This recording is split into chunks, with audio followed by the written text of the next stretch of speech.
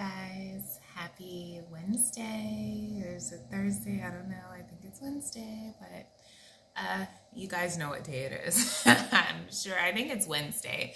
So happy Wednesday. I'm just on here to give you guys a quick message from a dream that I had in the wee hours of this morning um, that is going, to bless who it's for. Every time I get on here, guys, like I cannot talk. Uh, so Holy Spirit, speak through me. Um, but this message is going to bless you. Um, I hope you all are having a fantastic day. Um, shout out to all of the people that have been emailing me. Um, I just received an email a few minutes ago from someone by the name of Alexis. Um, and I just want to thank you for your email, Alexis. I have read it, I did not respond, but God is definitely using you because that email came at the perfect time. So thank you. You know who you are. Um, but I'm so grateful for all of you guys and your emails and your love. Some messages are just to encourage, um, some prayer requests. But again, I'm thankful for all of you guys. And if you ever want to reach me by email, my email address is in the About section of my YouTube profile. It's face to faith at gmail.com. So you guys can email me. Um, I do have some exciting news for you guys because um, so many people have been asking me about dream interpretation and they want to speak to me on so many different levels about so many different things. Um, so the Lord did put it on my heart today, and He is releasing me to open back up my coaching sessions, but he's totally shifting my life coaching. For those of you that don't know, I am a certified life coach. Um, and I've had that on hold for a while, just trying to see where God leads me. And He is leading me to do dream interpretation coaching as well as purpose coaching to help people find their purpose and walk boldly in it. So that is something that I've been working on today. Um, that was actually dropped in my spirit late last night and this morning. Um, so I'm in the process of revamping my website and changing so many different things. Um, so I'll release that to you guys when it is finished. Um, so for those of you that have been asking, the Lord has released me to do um, dream interpretation coaching and purpose coaching, just helping people walk boldly in their purpose and their calling and helping you guys to understand your calling or find your calling if you're not sure what God is calling you to do. So that is where he's leading me with that, guys. So I'm super excited. Um, wherever he's going to take that um, business and that part of my life, I'm open to it. I'm just going to let him lead. But I know so many people have emailed me and you guys have been asking like about one-on-one sessions and different things and yeah, that's where I am with that. So super excited. I will let you guys know when everything is done and set up. And yeah, looking forward to actually meeting you guys um, virtually, of course. Um, but yeah, I'll give you more information on that. I also have a book that will be released to the public within the next month or so. Um, I have a few copies. It's called She Is Me, but He Is I Am and it's 52 days of building. This is a devotional, guys, that the Lord dropped in my heart last year to write. And I had never considered myself a writer, but He told me to write. And He had me finish this book on, actually, He released this um, vision to me at the end of 2020 he had me finish this book on April 4th of last year, which was Easter, Resurrection Sunday. And I finished the book on 4 4. So it will be released to the public via Amazon, Barnes and Nobles, as well as many other avenues within the next few weeks. So I'm super excited about this devotional. Um, again, it's a 52 day devotional and I won't get into too much detail about it because I'll get into more details when it's released. But it's a 52 day devotional and a workbook, and it will change your life, guys. The Lord literally put every single word in my mouth and in my pen to write this book. And these are the things that He used, or the steps that I took when I was recovering from rejection, from hurt, from um, heartbreak, from just everything. So if that is you, this devotional will help you. And I will let you guys know when that's releasing as well. So the Lord is doing some major things. Um, he is just awesome. All glory goes to him. Um, but yeah, I'll release more information about that. But let me get into this dream and the interpretation of the dream because this is for not just me, this is for some of you guys. And take it to God. As always, you guys hear me say on my channel to take every prophetic word back to God, even the ones that you know it's for you. Take it to Him and just let Him speak with you intimately and download more about the dream and what He has for your set life. But this is for just more than me. Um, and I had this dream in the wee hours of this morning, in which today is 119. So yeah, let's get into this. I'm to release this to you guys and I'm multitasking guys. So I'm working and talking to you. Um, and it's rainy outside in case you guys hear some noise in the background. It's kind of stormy outside and I'm sitting next to a window. Um, but let's get into it because this was a good dream. It was a parable dream, of course. So I had to let him download the meaning um, of this dream to me, but it's going to be a blessing. So let's get into it, y'all. So in this dream, and I'm looking down, guys, because I have it written. excuse me. I dreamed that I was in a high rise apartment building with a friend of mine who's my friend in real life. Her name is Hepzibeth, but she goes by Eppie, E P P I E, but her actual name is Hepzibeth. That's important in this dream, so keep that in mind. So we were in a beautiful high rise and she was showing me around her high rise apartment and it was gorgeous. It had doors almost like around the whole entire high rise, doors and windows. Um, some doors went out to the balconies. Some doors just went, just opened up to outside, but there was doors and windows, like floor to ceiling doors and windows around this whole high rise and it was gorgeous. And I remember opening up the door uh, opening opening up one of the doors in the high rise. And when I opened this door, it was there was a very narrow ledge, right, to step on. And if you step too far off of that ledge, you would fall off. Um, so I remember quickly closing the door because I was like, I'm not stepping out there. We're already very high up and we were super high up, guys. So I remember closing the door and then Eppie pushed her desk, like a computer desk, in front of the door. And she said she wanted to put the desk there so that she could work in that area, but no one would open the door to go out that way or to look outside because she didn't want anyone to fall down, right? So I was like, okay, cool. I remember going out to another door. It was a full balcony, so you can walk out on it. It was surrounded by railing, so it was safe. I remember standing on a balcony in this high rise, and just the, the high rise was gorgeous, guys. And I remember there being a baby girl, right? It kind of switched scenes. Like I was still in this high rise apartment, but it switched scenes to where this baby girl was um, next to the stairs in the high rise. And this stairs was like almost like a spiral staircase going all the way down, but it was a long stairwell. And this little baby girl, I think she walked to the stairwell, and I remember grabbing her and holding on to her for dear life because I knew I couldn't let this baby girl go. And this baby had to be like maybe one years old. She was really little.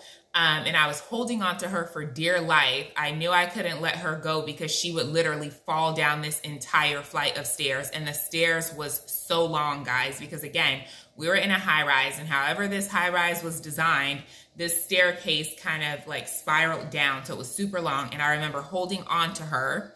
And I also remember in the dream that the baby that I was holding on to belonged to my nephew. His name is Daquan the baby belonged to him. And that's all I remember about this dream, right? So I'm going to break it down to you guys how the Lord broke it down to me. The high rise, a high rise building, if you look up the definition of a high rise, it says a building having many stories, right? That's the definition of a high rise, a building having many stories. The Lord is saying that a lot of you guys, He's getting ready to raise up really high, guys. That's why that high rise, that's why it was a high rise. He's rising you guys up, right?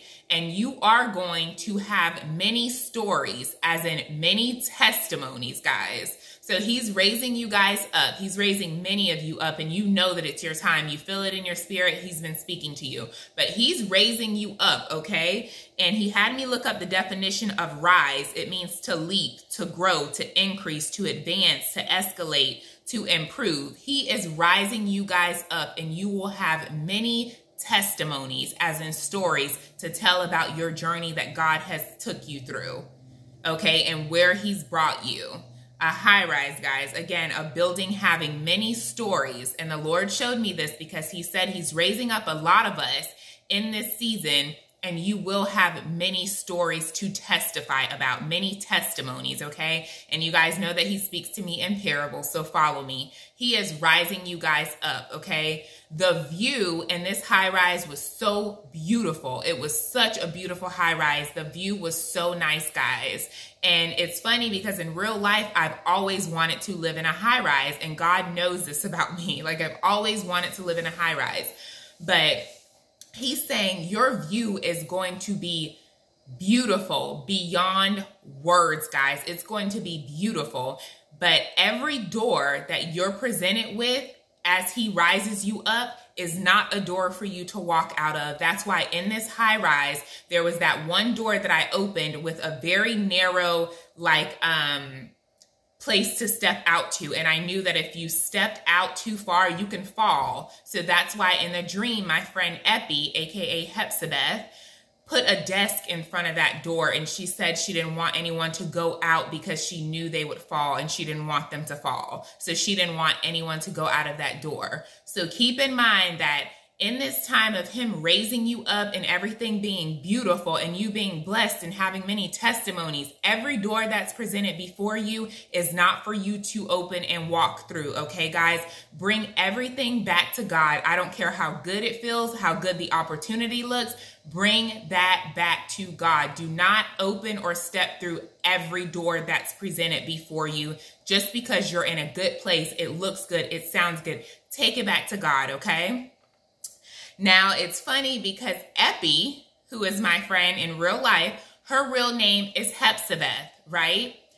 Eppie, aka Hepzibeth in Hebrew, means her is my delight, or my delight is in her. And it's a surname of Hepzibah, which is actually in the Bible, okay? It means her is my delight, or translated, my delight is in her, okay? Guys, to delight in someone means to please them greatly, to take their breath away in a good way, okay? It means to gratify. And for this scripture, God is so good. He led me to Isaiah 62, um, verse 4. And it says, No longer will they call you deserted. No longer will your land be desolate, but you will be called Hephzibah and your land Beulah. For the Lord will take delight in you and your land will be married, guys. I'm going to read that one more time. No longer will they call you deserted or your na- or your land desolate, meaning desolate, guys, is barren, empty. Deserted is empty, okay? But you will be called Hephzibah and your land Beulah, for the Lord will take delight in you and your land will be married. A lot of you guys are going from emptiness, from feeling barren, for, from feeling like you couldn't produce anything, from feeling fruitless, okay, to a married land where everything he promised you is joined together, is sticking to you. Promises fulfilled, guys. He's taking you higher. He's rising you higher. Your view is going to be beautiful. But keep in mind, in that beauty, in that rising, okay? In that rising, every door presented before you, and I can't stress this enough, is not for you to walk through. Some of those doors, just like Eppie, aka, aka Hepzibah, did in the dream, she blocked that door with a desk. You will have to put a block in front of some doors because it's not for you to walk through. But God is delighting in you. Okay, he's satisfying you. He's about to give you a joy that you cannot even express in words. Okay, he's about to gratify you to a level that's going to make you take a step back, okay? You will have many testimonies, as in many stories, guys. Keep in mind, a high rise is a building with many stories. He's saying that you are rising and you will have many stories, as in many testimonies. And I hope you guys are following me. You know, God speaks to me in parables, so just follow me, guys. It is time for a lot of you guys. Your, your promises are right there, but be careful in this season, okay? And in the dream, this little baby girl, and God is so good. This little baby girl, remember, she walked to the stairs and I held onto her. I grabbed her before she can go down the stairs because I knew she would have a long fall down. Okay. I knew this baby would be hurt and I had to hold on to her so she would not fall down the stairs. Okay. In the dream, I realized that the baby belonged to my nephew. His name is Daquan, guys. His name means spring, S P R I N G, okay? Spring biblically means to satisfy the desolate ground, okay? It means to begin to grow, to proceed, as from the seed or cause, to arise, to appear, okay, to break forth, to issue into new sight or notice, okay? A baby in a dream is a gift. The Lord is saying your gifts are springing forth, but protect them, guys, because it's so easy for your gifts to slip from your grasp and to fall down if you're not careful, okay? Keep him in mind in every area. I don't care how good it feels, how happy you are. Do not forget how you got to this high rise, okay? Do not forget how you went from being desolate and deserted to being fruitful, okay? To being married to your promises. Okay, don't forget who got you there because all of the gifts that he's getting ready to bless you with, if you are not careful, they can fall away. Okay, they can slip down the stairs and be gone just like that. Do not forget the person who's taking you to this married place. Okay. Do not forget it. He is springing forth so many areas in your life. He's bringing promised gifts to you guys. But just as quickly as he gives you those things, if you forget where they came from or forget to seek him and start like separating yourself away from him because you feel like you're in a good space, your gifts can slip away just like that, okay? Hold on to your gifts tightly, but hold on to God even tighter, okay? He's rising you up, but that does not mean for you to forget where you came from and who brought you there, okay? a lot of you guys and i'm i'm guilty of this in in the past okay? When you get to a good place you forget. You don't pray as much. You don't seek god as much because you just feel like you're in a happy state. But the minute everything falls away you run to god. God is saying no no no. You've grown from that Okay, you stick with him when it's good and when it's bad, in the happy times and in the sad times. Every moment of your life, you need to be connected to your vine, okay? The minute you clip yourself from your vine, and I'm gonna do a word on that too, from a dream that someone else had, that's for you guys as well. But once you clip your flower from the vine, which is the Lord Jesus Christ, the Lord our God, you're just a walking dead thing, okay? You want to stay connected to Him, okay? You are rising high. Your land is going from deserted and desolate to married, okay? You are springing forth in a way that you never imagined. God is blessing you with the gifts that He has promised, but do not forget about Him. Do not just walk through any and every door because it looks good, okay? Seek Him in everything that you do, guys. And I really want you guys to meditate on Isaiah 62, verse 4, okay? Isaiah 62, verse 4. Meditate on that scripture, okay? Um, that's all I have for this dream, guys. I hope it made sense. Um, I, I hope it made sense. You guys are smart. I know it makes sense. Email me your prayer requests. I love you guys. And yeah, Things are shifting, guys, and it's shifting faster than you can imagine. Pay attention, but do not clip away from the vine of the Lord Jesus Christ, okay? That's who supplies your your breath, your life, okay? You need to stay connected to the true vine, okay? Jesus is the true vine. The Lord Jesus Christ is the true vine, and God is the gardener. Stay connected, guys. I love you. Have a blessed rest of your day. Um, I may be on right after this, maybe on a little bit later. I don't know. Let's let God lead there. But I love you guys and have a blessed Wednesday. Bye.